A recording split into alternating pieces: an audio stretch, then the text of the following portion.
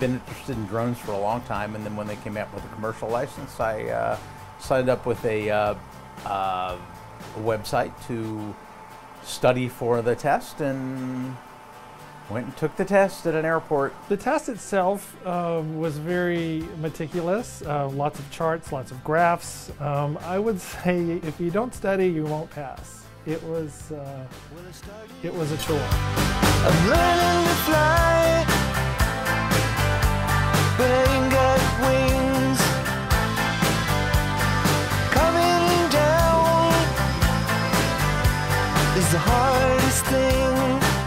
Are licensed commercial drone pilots, and that's a little bit different than a hobbyist. And yet the hobbyists don't have the same kind of restrictions that a professional drone pilot does, and that does scare me because they do crazy things with their drones. You have people doing all kinds of crazy things, and then that makes it difficult for us, the good guys, who really do need to use these as a tool or informational purposes you know, for public interest to do what we need to do without jumping through so many hoops of restrictions because of somebody else that did something bad.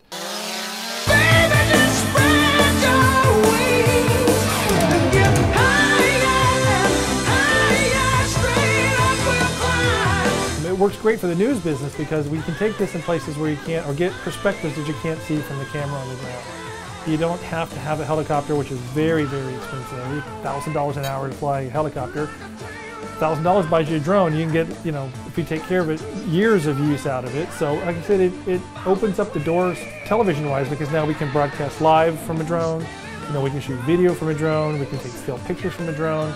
So, with, combine that with aerial mapping software, and you can open up a whole new gamut of, of information. Real estate is the big thing. Real estate companies. I don't think I've seen a real estate ad for a home in the last year that didn't have drone footage or pictures, and uh, so that's really big. Roofing companies use them to inspect roofs without having to get up on the top, and then they can show people what their damaged roof looks like. Uh, just there's all kinds of applications, and I'm sure there'll be more and more as time goes on. Drones are fun, you know, and that's the best part. I think that's why people got into it to begin with was it's fun, and you know like anything out there you do, you have to be responsible.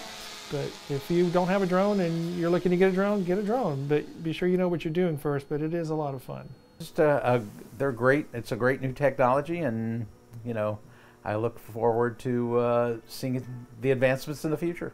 They're getting smaller, they're getting faster, they're having higher resolution and more capabilities. So, I mean, it sounds like a pun, but the sky's the limit. Come on, take a little taste of freedom high up in.